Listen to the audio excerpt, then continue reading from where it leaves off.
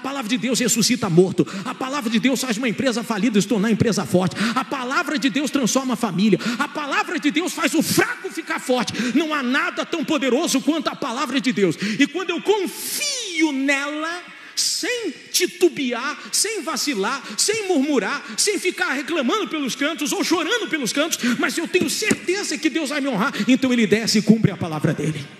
Se ele diz que você vai ser cabeça, ele vai fazer você cabeça. Se ele diz que vai te tirar da lama, ele vai tirar você da lama. Se ele diz que vai restaurar a sua família, pode ter certeza que ele vai restaurar. Se ele falou que vai fazer você ficar famoso de norte a sul, de leste a oeste, ele vai fazer. É você continuar confiando na palavra de Deus. Então eles venceram por causa do sangue, o pacto, a aliança e por causa da palavra.